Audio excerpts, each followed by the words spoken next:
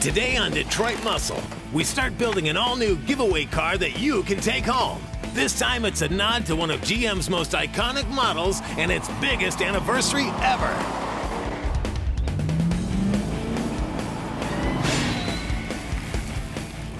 2017 is a big year for GM because it marks the 50th anniversary of one of its most iconic cars.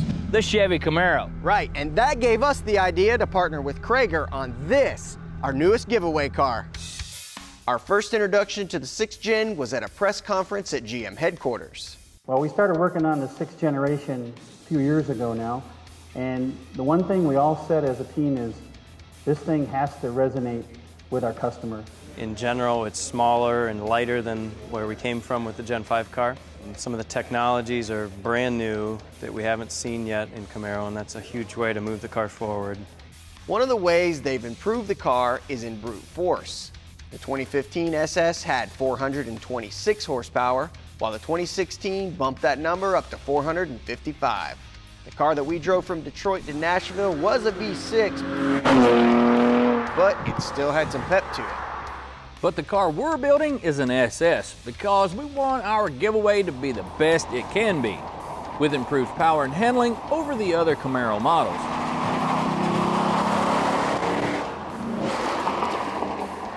This thing is no joke right out of the box.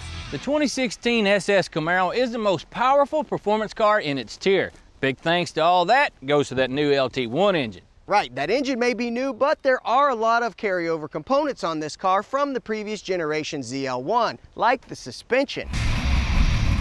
Those ZL1s came with magnetic ride control, which is now an option on the SS models. Combined with that best-in-class power, you can drive off the lot with a pretty serious machine. Ours doesn't have magnetic ride, but that only means we have more room to improve it. We tossed it on the dyno down the hall in engine power to get a baseline power number.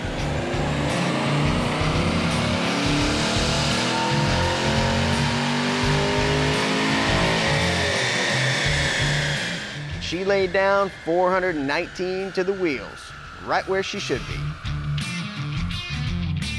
So we've got a good platform to start with for our next giveaway car. And with some handling and power improvements, this little bow tie is to be one mean machine. We also plan to do some paint and body mods. And if you want to drive away in our Cragar Camaro, then enter to win it at CragarWheel.com. Then you can do a bigger burnout than this one.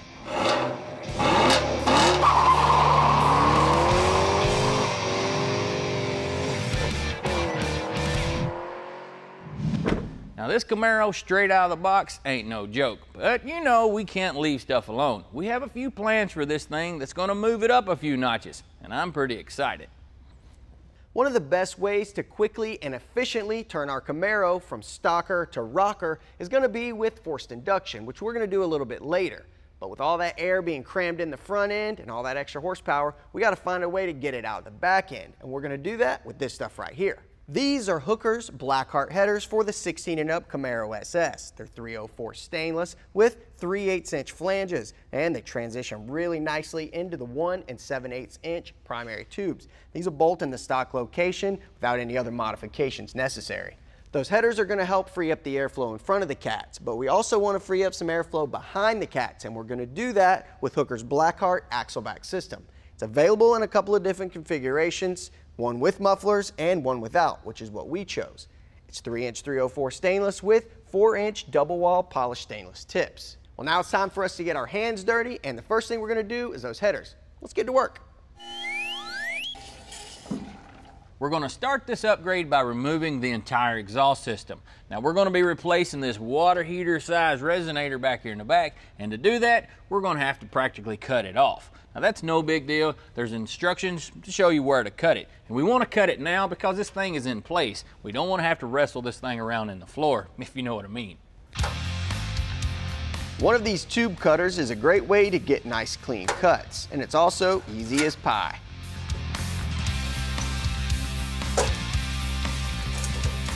A little WD-40 on the hangers also helps to get them slipped off. And bye-bye goes that big old muffler.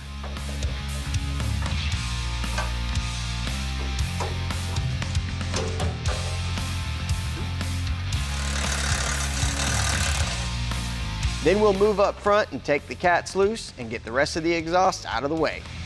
The next step is gonna be to unbolt the factory headers from the heads, but as you can see, there's quite a bit of stuff in the way, so we gotta get that out of the way to get down in there. But the good news is all that stuff's got to come out anyway before we put our boost on. You know how these late model cars are. Everything is crammed in here so tight, but it's got to come out to make room to work. The spark plugs are going to come out while we're at it. Otherwise, we'll be fighting to get around them as well. We can start unbolting the stock headers now, and thankfully they can be pulled out from the top. Then we'll take those Blackheart headers and slip them into place.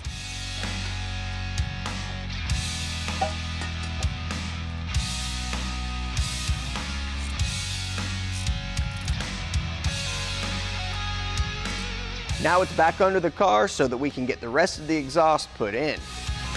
We'll get the stock portion bolted back in place at the cats. We're in the back of the car again here where we made our cuts earlier to cut our original axle back system off and we're getting ready to install our new one. First is this adapter pipe. And then we come in with our mid pipe. Slides into stock hanger.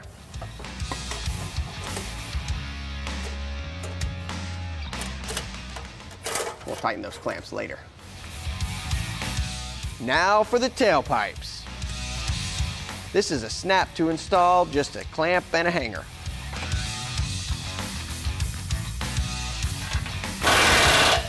How about that, boy? We got ourselves a straight pipe Camaro, son. Coming up, we'll show you how we're gonna force some air down the throat of that Camaro's V8.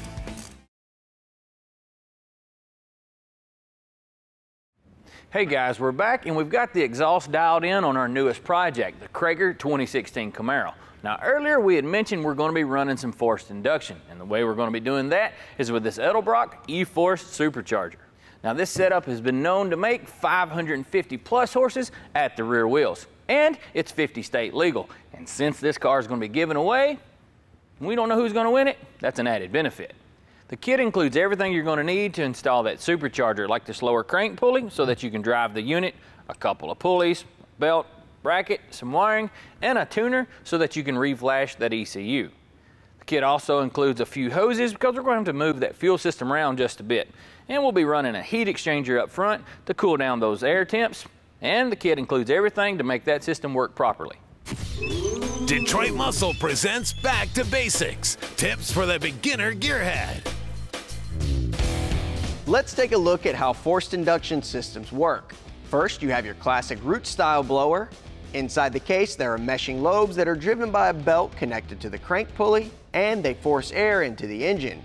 Then you have turbochargers, which use the exhaust energy to drive a turbine, which is connected to an impeller that pushes air into the engine intake.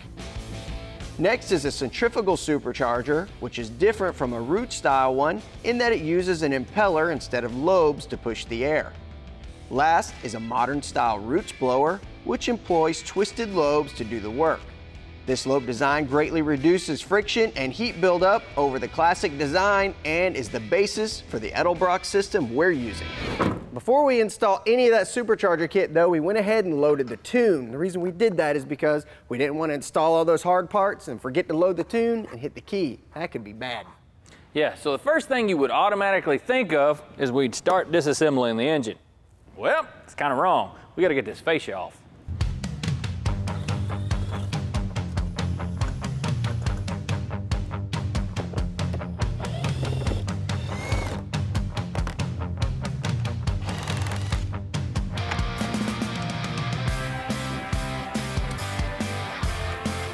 With that removed, we can start pulling off the PCV hoses.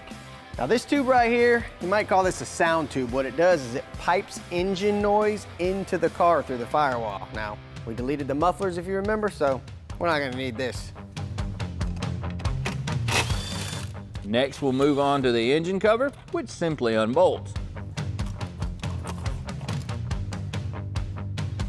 Then we'll start getting the intake removed.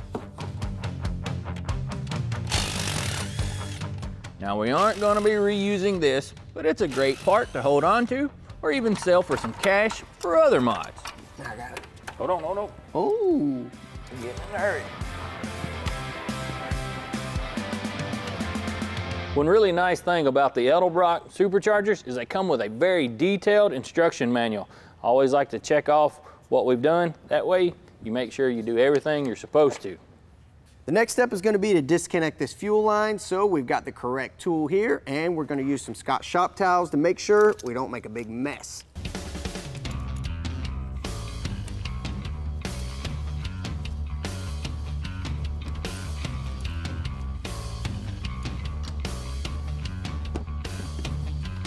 Here's the reason we removed that line.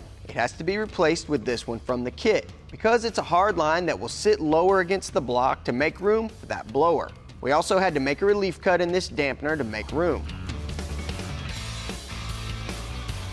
We're gonna get the fan out of the way, which will allow access to remove the crank pulley.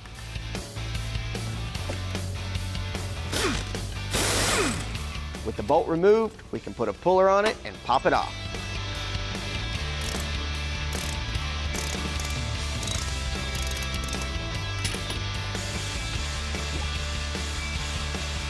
Then we'll replace it with the one from the kit, which includes an extra channel to drive the supercharger.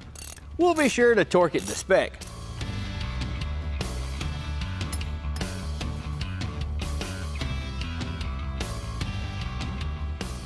Now we can go ahead and put the accessory drive belts back on, then reinstall the fan.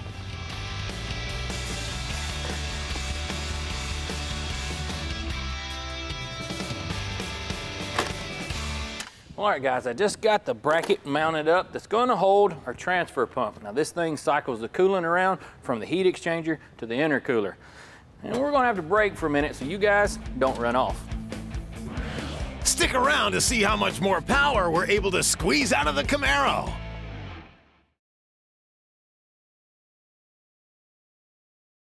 Hey guys, while you were gone, we went ahead and finished bolting up the brackets and pulleys that'll accept the belt to drive our supercharger, and we buttoned up our fuel lines and evaporative emissions hoses, but you probably didn't want to see that anyway. This is the good stuff here. Our supercharger is getting ready to go on pretty quick, and we're going to switch some stuff over from our original intake manifold onto it. One of those is the throttle body. Just going to unbolt it, bolt it right into this spot here, and then also these O-rings. Now these are actually the intake manifold gaskets. They're going to come out of here, go right into this adapter plate.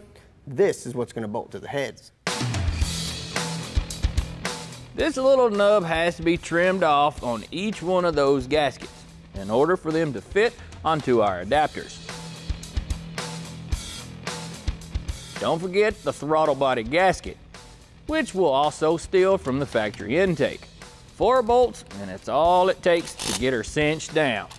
Then our adapters can be seated in place and tightened down lightly.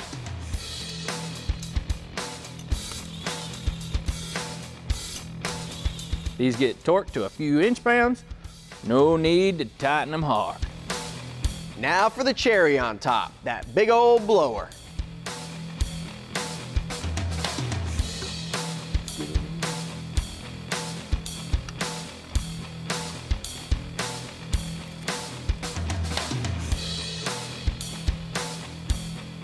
With it torqued down, we can go ahead and run the drive belt for it and move on.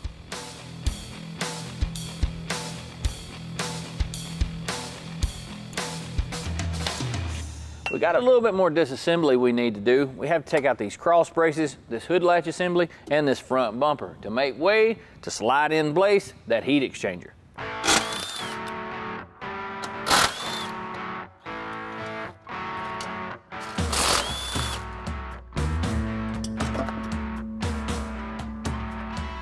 Plastic brackets will need to be modified, so we'll pull them off real quick.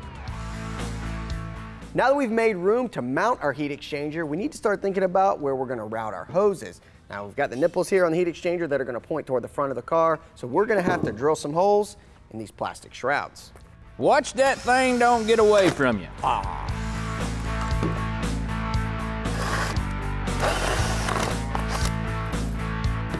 razor blade can clean up the hairy bits from punching that hole. Now we can start putting parts back on. Our coolant hose runs through the bracket we just punched out, then connects down here to the heat exchanger. We'll also go ahead and get our coolant reservoir installed and hooked up.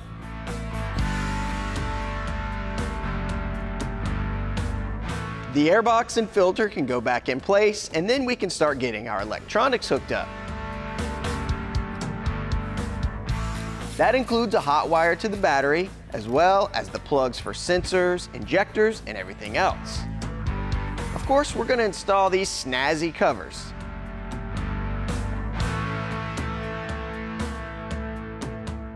Then after that, we'll get our fascia plugged back onto the front of the car.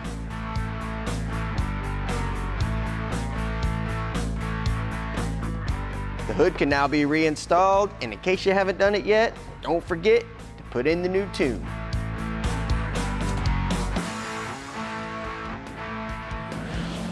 Still ahead, we'll put up or shut up on the dyno.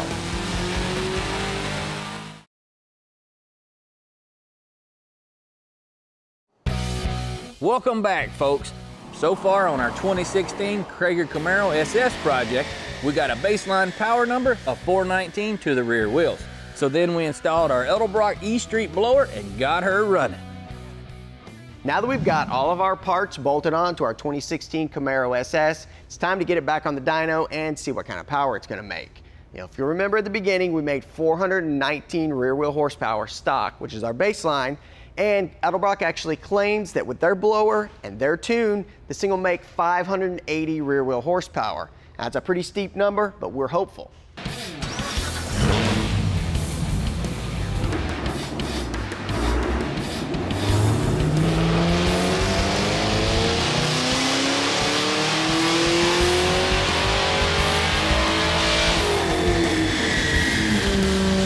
First pull, 573. Not bad.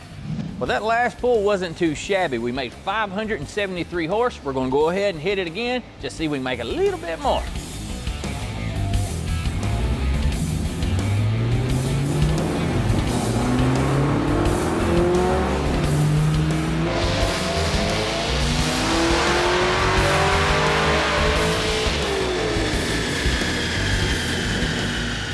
That time she made 578 on just below nine pounds of boost. If we compare our before and after numbers, we've gained 159 horsepower. Well, that's it. Our Camaro made 578 rear wheel horsepower. Considering Edelbrock claims 580, we're within two horsepower. We're pretty happy with that. It's 159 horsepower gain over stock. So considering it's 50 state legal, that's really good. Now we've got some more stuff we need to do to this car, but we need to get it on off of the dyno, back down to our shop. If any of you folks have ever tried to do a transmission swap or upgrade on a 63 to 79 Corvette, then you already know the problems associated with it, and that is the factory transmission crossmember. We've got one right here, and normally this is attached to the frame through these holes right here and some big old rivets. Now you can't really get this out without major modifications or risking damage to that frame. Well, the folks at American Powertrain have figured out a solution to this problem, and it comes in the form of this removable crossmember flange kit. What you do is you slice your stock crossmember here and weld in these flanges, bolt it right back into the car. This has been a huge issue for Corvette owners over the years, but not any longer, thanks to American Powertrain. A lot of you out there have some of those older rides, and Mother Nature, well, she's not much of a friend to them. And those interior components oftentimes don't handle those elements very well. If you've got a first-gen Camaro, Classic Industries now offers a dash pad. They're made to OEM specifications and design.